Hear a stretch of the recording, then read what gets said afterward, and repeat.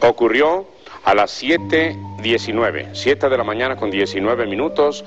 El epicentro se localiza en las coordenadas 16.5 grados de latitud norte y 103 grados de longitud oeste, aproximadamente a unos 350 kilómetros al suroeste de Acapulco, Guerrero.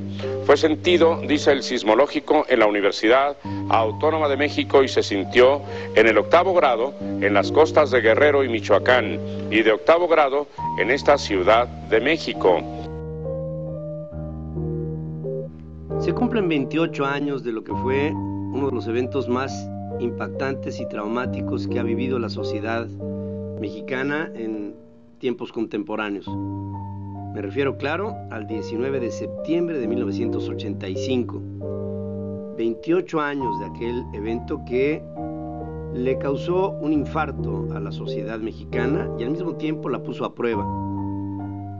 Se llegó a la conclusión, después de tanta muerte que nunca se pudo determinar en su cuantía, se habló hasta de 25 mil personas que pudieron haber muerto solamente en la capital de la República Mexicana, luego de tantos y tantos y tantos edificios colapsados, de tanta y tanta descoordinación y confusión que causó todo esto que fue para muchos de nosotros en aquel tiempo traumático.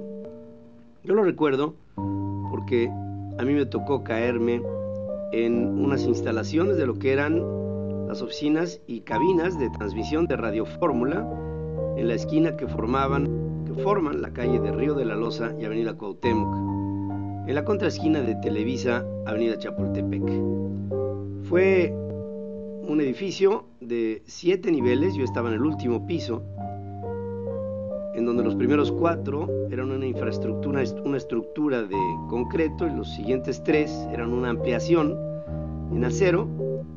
Las diferentes vibraciones, modos de vibración de una y otra estructura hicieron que la segunda, la de acero, se colapsara y se fuera abajo hasta el suelo. Ahí me fui yo, junto con toda una serie de trabajadores de Radio Fórmula que en ese momento estábamos haciendo transmisiones para diferentes estaciones de radio pertenecientes al grupo. Me caí junto con mis compañeros. Fue un evento por demás importante para nosotros porque a algunos nos cambió la vida y a otros simplemente acabó con ella.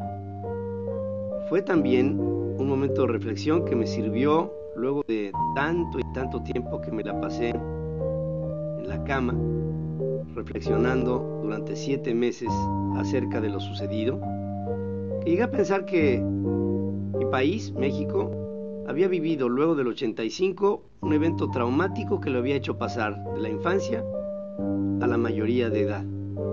Cobró realidad de lo que habíamos vivido ahí, de la suma de tanta improvisación, corrupción y todo aquello que desafortunadamente nos hacía ser entonces un país de tercera, de tercer nivel, como le llamaba Echeverría, de tercer mundo.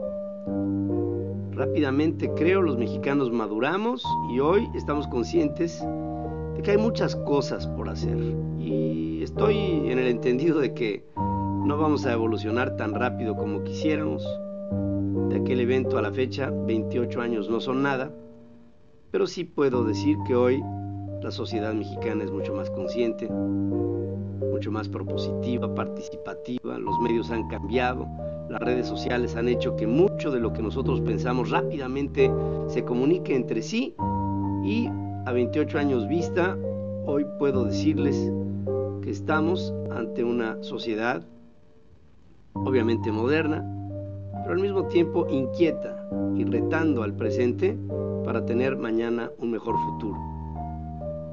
Para mí, la historia de 1985 fue una gran lección me dejó, no como algunos piensan, el peor momento de mi vida, no. Me dejó el mejor. Y hoy me entiendo y entiendo mucho de lo que es mi vida y mi circunstancia en función de aquello que fue. Hubo un precepto y un principio que se me comunicó en el momento en que estaba yo debajo de los escombros. Una voz que me decía, Pedro, ya te pasó lo peor ahora busca lo mejor. desde entonces, hace 28 años, no he hecho otra cosa más que hacerlo. He buscado siempre, dentro del el escenario que me toca vivir y mi circunstancia, cosas que han sido malas, pero que de ellas tratamos siempre de encontrar lo bueno.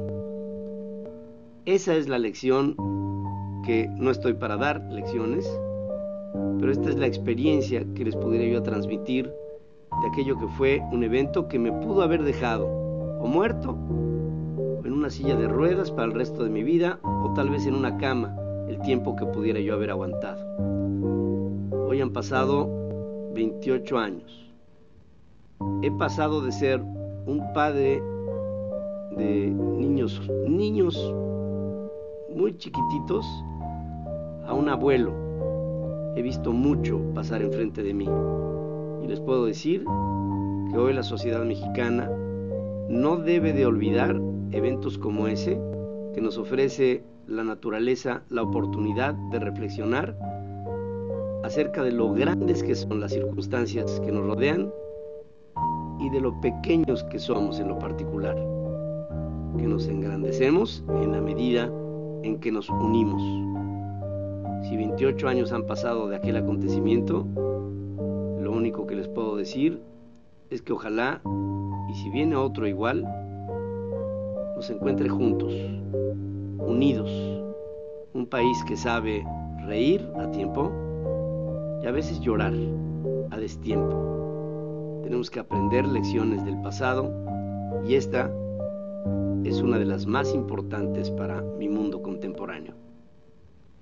19 de septiembre de 1985 19 de septiembre del 2013. Que quede ahí una huella indeleble de lo que fue y también de lo que pudo haber sido.